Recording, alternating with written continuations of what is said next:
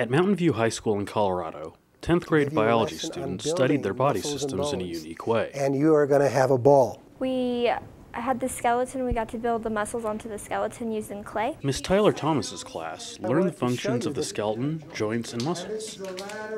The class didn't learn these facts from their textbook, but rather using a hands-on approach, building anatomy in clay. We usually don't use clay, we usually just use paper and pencils. And it was different using our hands and putting things where they're supposed to belong, and it just was fun for everyone. Students formed muscles in clay and then attached them to special skeletons called Maniken models. One student explained why building muscles in clay helped him learn the anatomy. It just shows me how they look and what form they're in.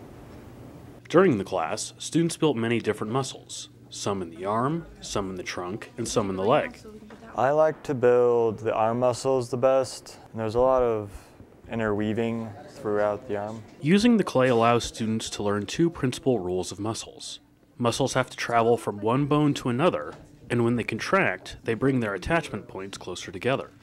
By building muscles on the models, students illustrate these rules. A lot of musculoskeletal anatomy is just simple mechanics. And if you understand that, then every muscle you build is a reinforcement of that understanding of the mechanics. Let's find out what teachers think about the learning system. I thought it was fantastic. It was really great for all the learners, especially the ones who are more hands-on learners and couldn't theoretically visualize. Um, so it was wonderful for them to be able to feel and touch and make the things. In addition to biology classes, teachers are discovering other practical applications for the models. Practical applications if they're learning any body parts, perhaps if they are doing any sort of pre-med or where they might be interested in injuries, health, PE, even modeling for different art classes. Students and teachers both seem to agree that this method of hands-on learning is effective and fun.